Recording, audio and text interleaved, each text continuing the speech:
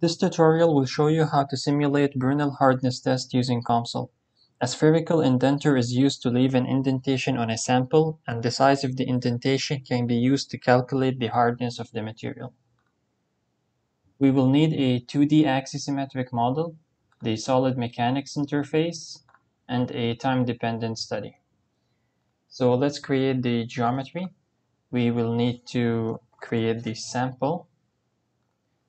I will change the units to millimeters. So specify the radius and the thickness. And we need the indenter ball. We will use a diameter of 10 millimeters, so the radius will be 5. And we will create it such that uh, one point on the ball will be touching the sample.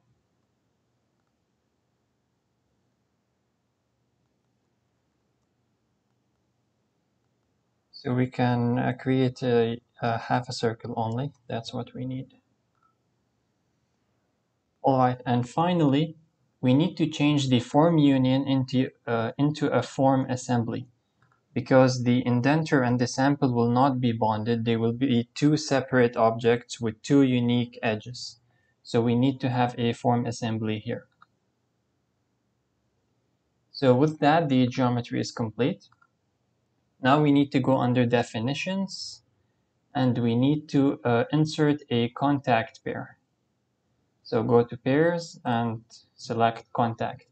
This feature will basically uh, calculate the physical contact between two different objects, in this case the sample and the indenter ball.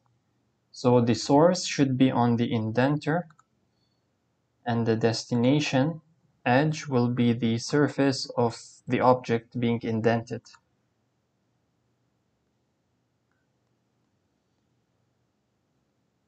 Alright, now we need to define the material. So we will choose aluminum for the sample. We will enter the material properties. And for the indenter, uh, in Brinell hardness test, uh, a common material that is used is tungsten carbide because it is very strong. It has a very high modulus of elasticity and a very high um, uh, strength. It is a very hard material. So we can insert this material from the COMSOL library if you type WC, which stands for tungsten carbide. This is the chemical name and insert WC solid.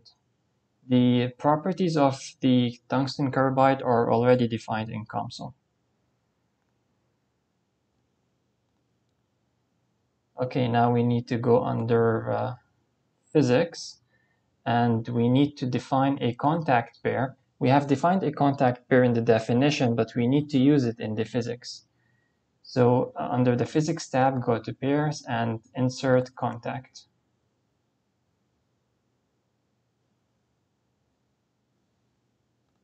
Add the contact pair which we have defined and change the formulation to augmented Lagrangian. The solution method should be selected as fully coupled. And uh, there's also one setting that we need to change under contact pair. For the search method, change fast into direct. So direct is more robust, but it will it is computationally more expensive, but it will give us the accuracy that we need. Let's go back to physics and we need to insert a fixed constraint. So the bottom of the sample cannot move. And we need to insert a force. So insert a boundary load choose the upper uh, edge of the circle. So the force will be applied on top of the uh, indenter ball. And we will specify the total force. It will be, uh, two let's select 2000 newtons in the negative direction. We will be increasing the load gradually into a maximum and then removing it. And when the load is completely removed, uh, there will be some plastic deformation on the sample and we will use the size of the created indentation to calculate the hardness number. So under global definitions, we need to create a triangular function. The lower limit is 0, the upper limit is 1. So from 0 to 1 seconds, and turn off the smoothing. So this will be the shape of the function we will multiply the total applied force with this function.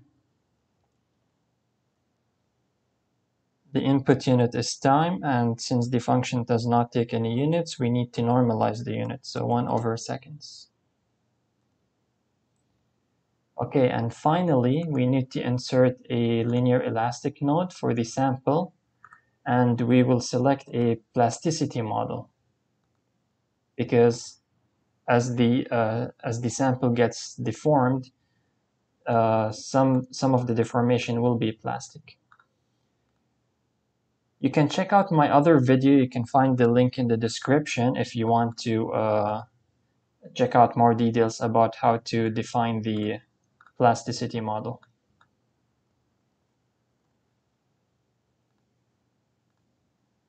I will choose the Voce model Again, you can check it in my other video.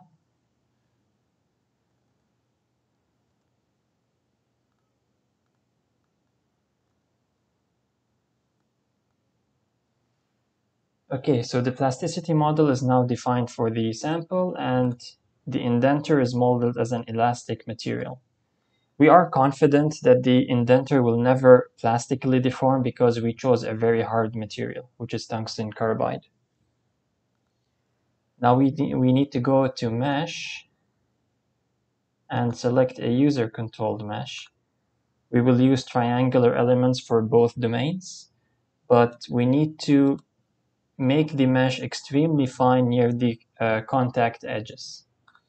So insert a sizing node and select the boundary of uh, the boundary of the indenter.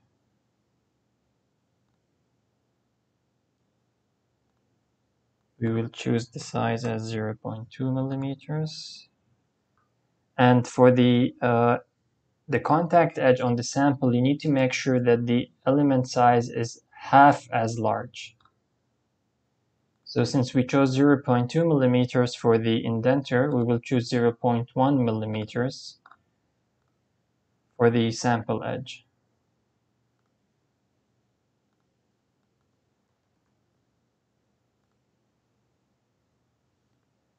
Okay, so this looks fine. Uh, you can make the mesh finer if you want to. The uh, the simulation time will increase, but uh, I think this is enough for uh, to get an accurate result. Finally, insert the default time-dependent solver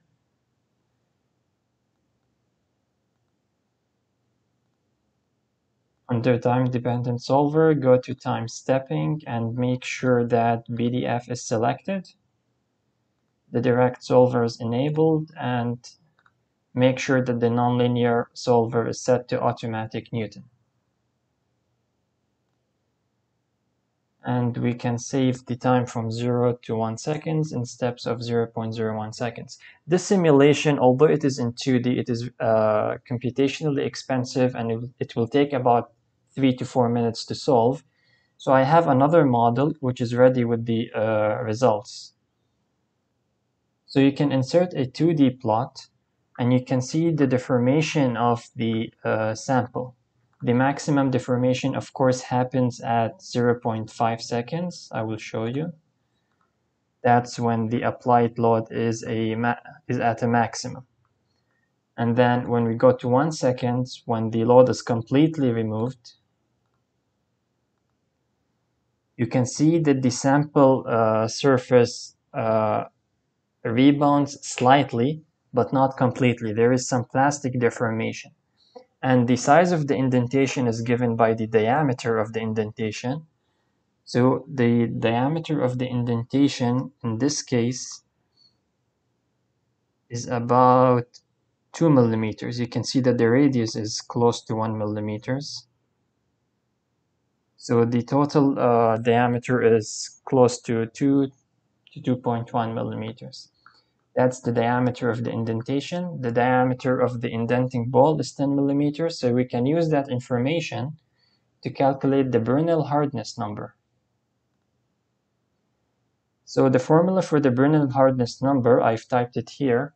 You can see it is 2F. F is the total applied force divided by the gravitational acceleration, uh, acceleration constant divided by pi. Uh, capital D is uh, 10 millimeters in this case, the diameter of the indenting ball. And the average indentation diameter in this case is 2 millimeters.